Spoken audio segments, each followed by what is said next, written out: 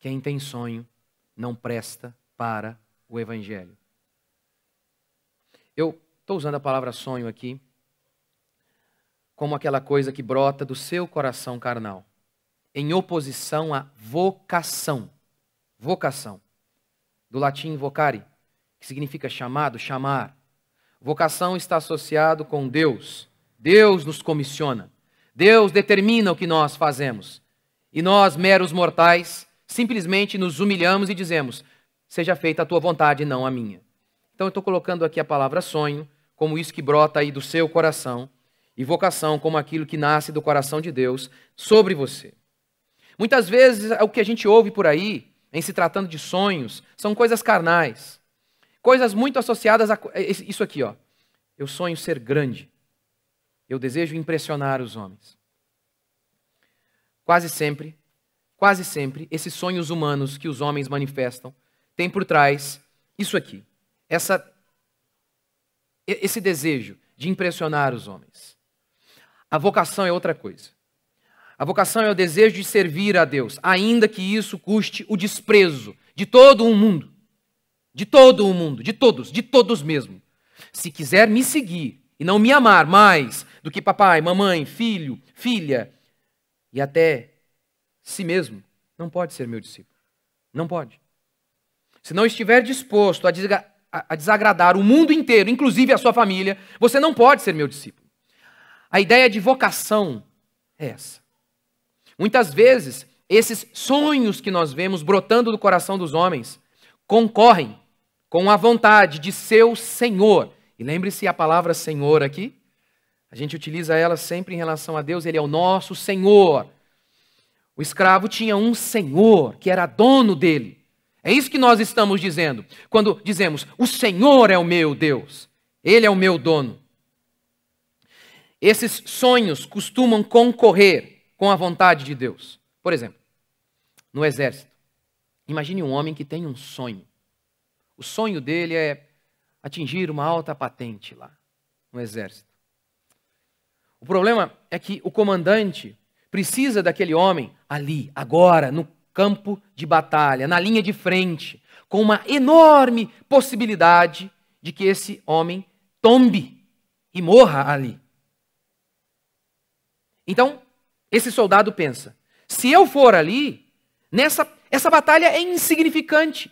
Essa não é uma grande batalha. Ninguém verá os meus feitos ali. Ela é muito importante para este comandante, para o batalhão, para o país, mas para mim ela é insignificante. E é assim que essas pessoas são inúteis para o reino de Deus, porque preocupadas apenas com elas mesmas, com seus sonhos, elas não podem perecer no anonimato. Elas não podem, para satisfazer a vontade de seu comandante, em nome do bem maior, elas não podem morrer onde não há holofotes. É muito comum você ouvir pregadores falando sobre Davi, que saiu lá de trás das ovelhas para ser rei em Israel. E é muito comum que pastores peguem isso e apliquem isso para todos, dizendo aqui que todos serão um sucesso aos olhos do mundo. Todos aqui terão canções sobre vocês. Vocês serão o máximo, estarão no holofote, diante dos holofotes. Nem sempre. A maioria não vai ser assim. Bem poucos. Mas é muito interessante que quase não se faz pregações sobre Jonatas. E Jonatas, sim, ele pode ser, sim, um objetivo para todos nós. Nós não podemos desejar ser um rei glorioso como Davi ter uma posição de destaque. Isso é pecado. Deus pode dar isso a cada um de nós, mas é pecado desejar, assim como você pode ter dinheiro, mas é pecado desejar ser rico. Não é pecado ser rico, mas é pecado desejar ser rico. Portanto, você pode desejar ser valente, virtuoso como Davi, é nesse sentido que todas aquelas histórias se aplicam. E no sentido, claro, de que nós iremos reinar com Cristo na glória. Mas há uma promessa a todos nós que todos nós vamos reinar aqui em vida. Lembre-se dos apóstolos que morreram de maneira totalmente vexatória, considerados hereges. E facilmente você vê que essas pregações que tentam falar, tá vendo? Davi saiu de trás das ovelhas para virar rei, você também se prepara para o sucesso, meu amigo.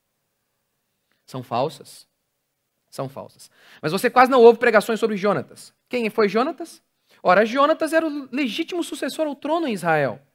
Ele era filho de Saul.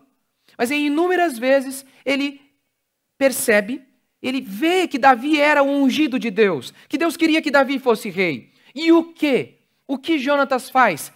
Ele protege Davi. Ele dá amparo para Davi. E há um momento em que ele dá a sua capa, a sua espada, em que muitos veem aqui uma atitude de total reverência, dizendo: Davi, é tu, és tu que há de ser o rei. Você, você vai ser o rei.